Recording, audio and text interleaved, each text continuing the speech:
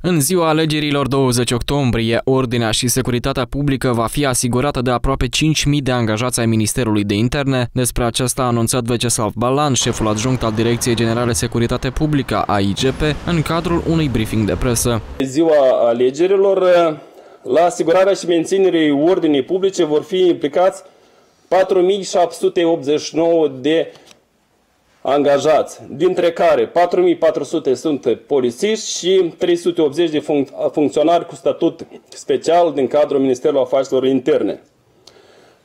Nemijlocit la secțiile de votare și consiliile de circumscripție vor fi antrenați 3867 de angajați care vor asigura ordinea și securitatea publică.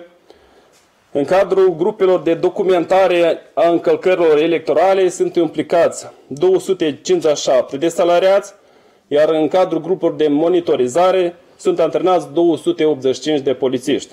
De asemenea, Balan a afirmat că vor fi pregătite grupele operative de urmărire penală, de intervenție 112 și echipaje de fluidizare a traficului. Pe lângă asta, în ajutorul poliției vor veni și carabinierii. În suportul poliției pe parcursul acestor zile va fi antrenat și Inspectoratul General de Carabinieri, eh, care cu forțele sale eh, va asigura atât paza, atât și la necesitate va constitui rezerva în caz de escaladare a situației. Balan a venit și cu unele recomandări pentru buna desfășurare a alegerilor și a amintit că, potrivit legii, în ziua alegerilor și în ziua precedentă este interzisă agitația electorală.